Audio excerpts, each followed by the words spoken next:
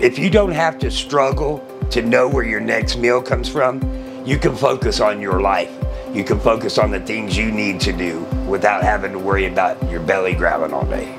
Everywhere we go with it, they're tickled to death to get anything from us because they're trying to keep people happy and keep them fed.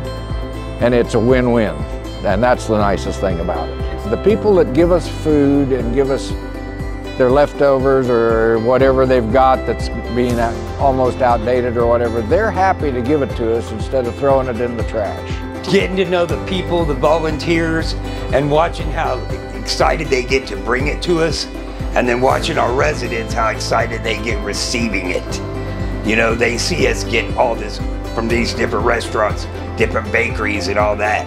And it just makes it brings a bright part to their day. When they see it, you know, they're like, wow, check this out. Look what we just got. It's amazing. To me, it's fun.